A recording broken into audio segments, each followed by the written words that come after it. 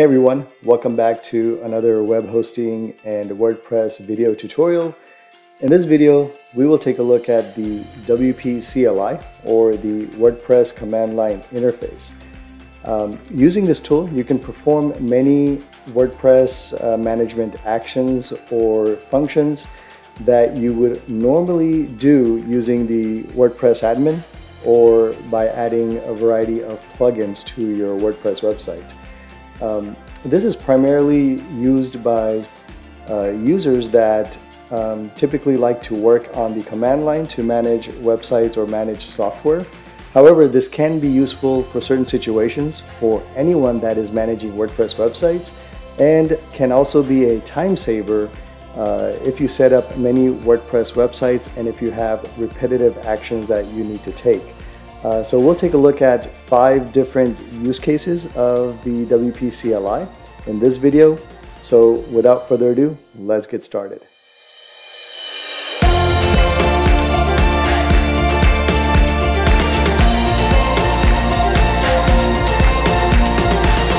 Alright, so uh, to walk you through this tutorial, I'm going to use a sample WordPress instance that I've just started up. If you are going to run these commands on your production or live website, then I would highly suggest you make a backup prior to doing this.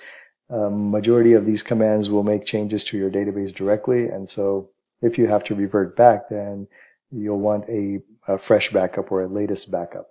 And as a general best practice, you should always have a good backup of your WordPress websites. The Bitnami blueprint in Lightsail or on AWS uh, their blueprint already comes with the WP CLI already pre-installed.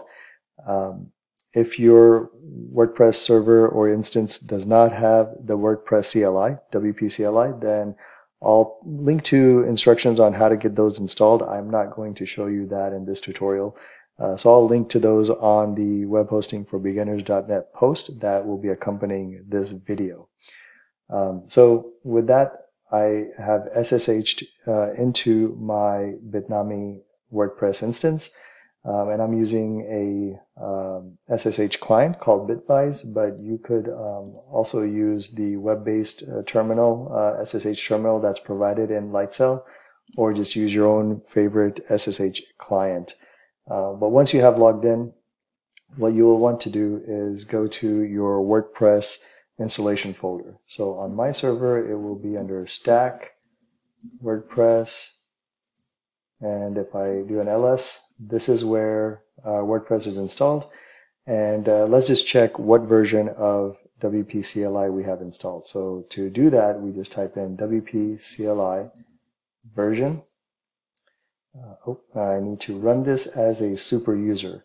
Uh, so Bitnami requires that uh, WP CLI commands are run as super user. So what we will do is put sudo in front of that. So sudo WP CLI version, and we have version 2.5.0. So I believe if I go here, uh, the current stable release is 2.5.0. So as of recording uh, of this video, the latest version is 2.5.0. In case you have a an older version, you basically would want to type in an update command. So sudo wp CLI update, and this would update uh, your CLI version to the latest version that's available. All right, so the first command that I wanted to show you is simply to list the WordPress scheduled jobs that come installed when you set up WordPress website or any custom cron jobs that you may have set up as well. If you wanted to do that without WP CLI, you would have to install a, a plugin to uh, list out the cron schedules as well as manage them. But with WP CLI, you can do that with a simple command. So if you type in sudo wp cron event cron event list, this will return back all the scheduled jobs that are uh, that are configured to run their next runtime, then uh, how often those are configured to run. Uh, as I mentioned, if you wanted to see this in the WP admin now, you would have to install a plugin.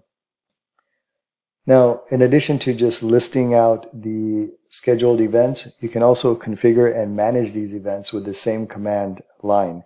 Um, to find out what else you can do, you would type in sudo wp help and then the name of the command. In our scenario here, it's cron. If you hit enter, you'll get the entire documentation of the WP cron CLI command and you can manage it here. All right, so the next command I want to show you is how to change your password. Um, if you've ever found yourself locked out of your WordPress website and you're the only admin in the system, and perhaps you've tried to use the reset password via email and that hasn't worked, then there's a very simple way to reset your password or change your password using the WP CLI. So you don't even have to rely on the WP admin dashboard or any of that functionality. So I want to show you that here. The command to change your password is sudo WP user update. And then here's where you need to provide the email address for your user account. In the sample Bitnami WordPress instance, I think by default it comes with user at example.com. This is where you would put your user email address, or if you're changing the password for another user, it's their email address that they've used to register on your website. Uh, and then we'll pass in a parameter called user underscore pass, and then just give a, uh, a new password. Uh, so I'll just type in a very insecure password called sample password. And then you hit enter. And it should come back with success updated user number one. Um, so if I go back to the my WP admin for my sample WordPress site and I type in my username, user, and then sample password, it's let me in. So my password has been reset. The next command I want to walk you through is the install and activation of plugins. So in this scenario, uh, if you have a common set of plugins that you always install on any WordPress website that you create and start development on, then uh, typically you would have to go into the WP admin, find the plugins, uh, install them, then activate them. So instead of going through all of that process, uh, you could just install them through the WP CLI and activate them. So in one command, you can do all of that. And this is good for, again, like I mentioned, common plugins that you uh, uh, install always for all of your WordPress websites. Um, I'll refer to a recent video I did of the top five plugins that I recommend that all websites have. So if you're interested in that, please click on the card above here. Uh, but let's get started with installing some of these common plugins. So let's say I want to install uh, the WordFence firewall, um, the an SMTP plugin, and disable comments. These are three plugins that we would want to install and activate. To com the command for that would be sudo wp plugin, uh, install, and we'll install WordFence, uh, the WP Mail SMTP, and uh, disable comments. And then we provide a parameter at the end for activate. So this installs them from the WordPress repository and activates them. There we go. So I ran that command, single command, installed these three plugins and activated all of them. Um, so you could do this for, you could just keep this command handy and anytime you create a new instance, create a new WordPress website, go to your WP CLI, run this and those three plugins uh, or any number of plugins would be installed and activated. So if I go back to my uh, sample website, log in, so I'm logged into uh, the sample WordPress uh, website, and if I come back here, uh, we'll see, and we'll see those three plugins. Disable comments was installed and activated, uh, WordFence Security, and WP Mail SMTP. Um, so the plugin, uh, the names that I provided on the command line, those come from the WordPress repo name. So if you go to for example, the WordPress plugins repository and you look at WordFence, this repo name is what um, you need to provide on the command line. Now, along with activation, the same command line utility can be used to deactivate plugins. And this is good if you've installed a plugin and now all of a sudden your site becomes inaccessible or there are errors and for whatever reason you cannot get into the WP admin. If that's happened to you before, then what you may have done in the past is have log into FTP or SFTP into your server and delete the plugin folder or rename it. That's those are the common suggestions provided, right? But with WP CLI, you can deactivate a plugin using the command line. So to do that, let me show you an example. Let's say I want to deactivate the WordFence plugin.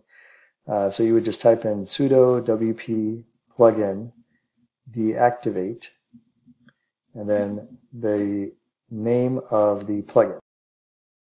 Oh, it would be help if I spelled plugin correctly. And there we go, the plugin's been deactivated. The next command I want to show you is primarily for WordPress designers or theme designers or, or developers.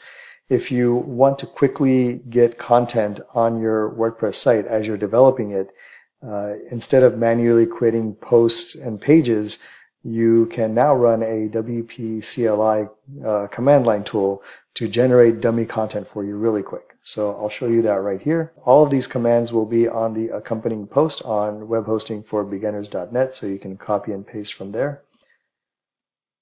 So you type this command and then the next command, which is the wp post generate command. So what I'm what I've done here is there is a service called loremipsum.net. It's a website that can generate lorem dummy content. Uh, we're fetching the data from this site, and then we are echoing this, uh, and we're fetching the data and storing it in a variable called content. So we're echoing this content, passing that to the WP post generate command. This is the WP CLI command. And then we're providing a post content and how many posts we want to create with this dummy content. So you can put 10 or you can put 5, whatever number of posts you want to create for your needs, you provide it right here. And then you just hit enter. Well, as always, you have to type in sudo, got that.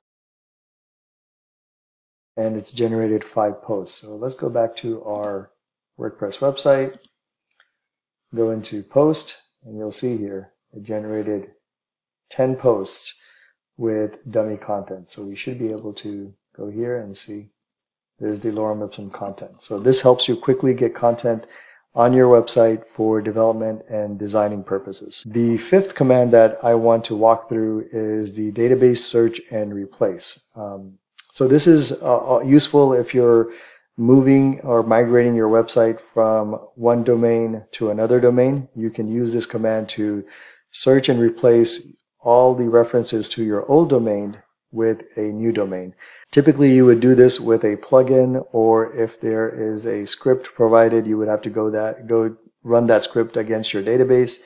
So, a couple of old ways of doing this. Uh, with WP CLI, they provided you a command to do a search and replace. In addition to domains, another user use case would be is replacing some sort of a content string in your database. So, if I wanted to uh, remove the word um, post or 11 or something across all of the content in the site, you can use the same command for replacing any content, not just use it for domains. So what you would type in is sudo wp uh, and the command is search and replace. And what you provide is the old string. In this case, it would be something like uh, post um, in my example. But if you're doing this for domains, you would do something like www.old uh, This is just an example, but this would be your old domain. And then you would provide the new domain.com and you would run this. Um, but in my example, just to show you, I will replace post with uh, new post. Now there's a couple of parameters that you can provide to this command and these are uh, pretty important. First one is uh, dash dash skip uh, columns. And then the column that you would want to provide is GUID, the GUID. WordPress documentation states that you should never modify data that's in this column. um, for a variety of reasons, and you can read about it on their website. But always, when you're doing the search and replace, even if you're you know going from old domain to new domain, always provide this commands. I'm not sure why they don't just provide this by default, but you explicitly have to state skip columns GUID.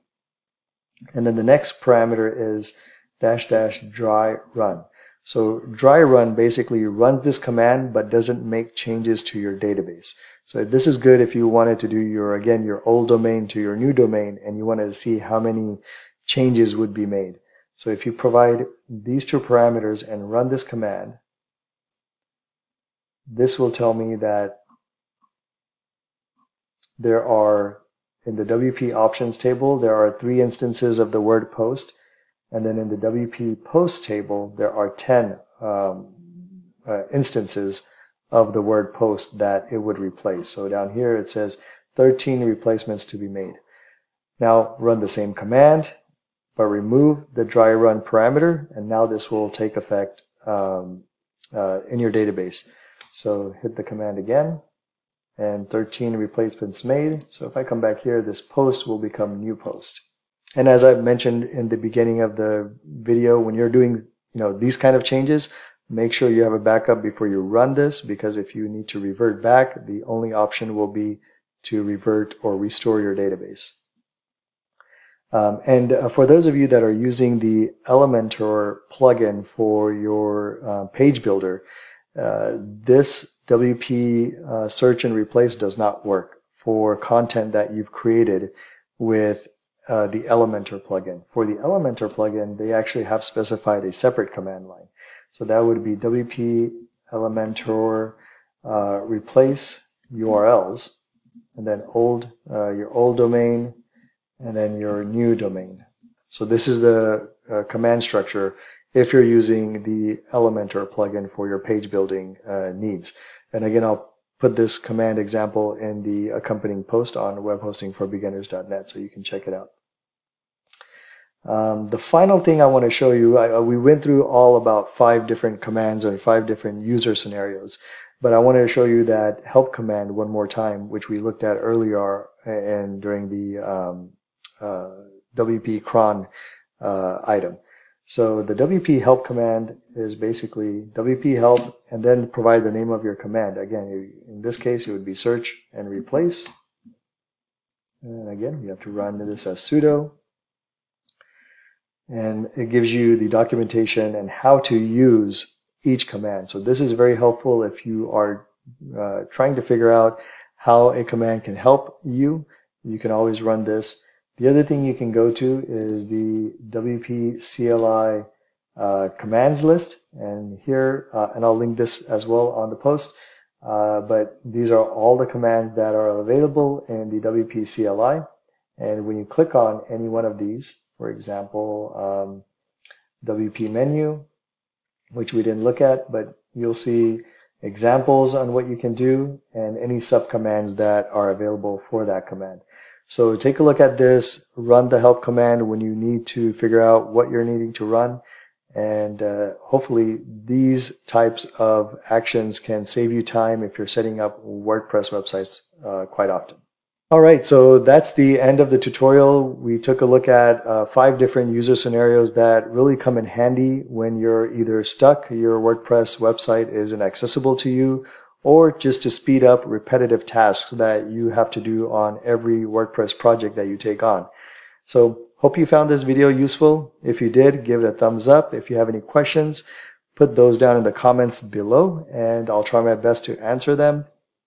Um, if you haven't subscribed already, please consider subscribing. If these are the type of uh, video tutorials that you are interested in, share this with others that may find it useful as well. And um, I've uh, reached over 2,000 subscribers on my channel, so thank you to all of you that have subscribed. So thank you again for watching, and until the next video, take care.